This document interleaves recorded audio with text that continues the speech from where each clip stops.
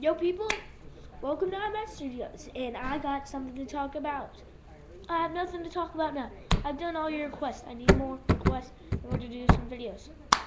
As you can see, you can give me any request that lava lamps, Pokemon, roller coasters, roller coaster Tycoon 3, roller coaster Tycoon 2, roller coaster Tycoon 1, and whichever topic comes up most, I'm making a video about. Thank you for watching.